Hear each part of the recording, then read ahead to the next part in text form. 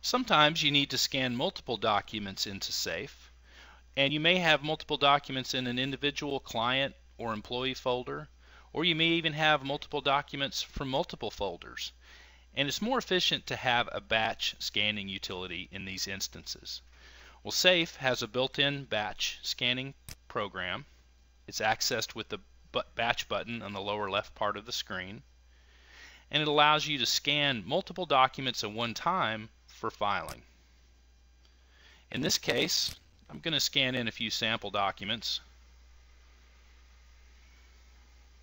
so you can get an idea of what the interface looks like and how to scan multiple documents into a folder or into multiple folders.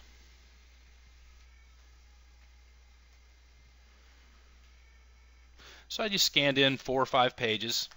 You'll see thumbnails appear over here on the left part of the screen. When you click on a thumbnail, it'll show you a preview of that image on the right.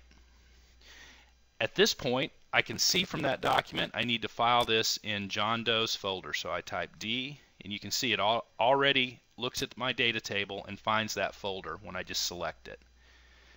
I can select a tab. In this case, I want to keep it in Account Documents. And I select my template. In this case, I want to use this template. And if it was a multiple page document, I could hold down the control key, but this is just a single page document, so I'm just going to click the File Document button.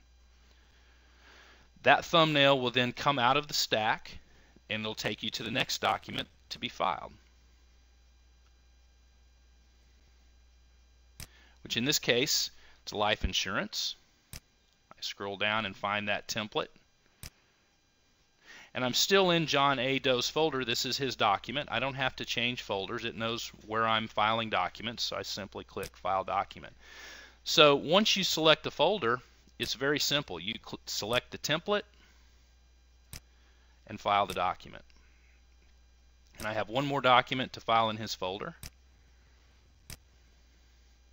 And now I have a document that goes in another client folder. And now I just go back to my folder selection type C, L. You can see it's narrowed it down. I can pick the one I want and I have to just pick my template and file that document.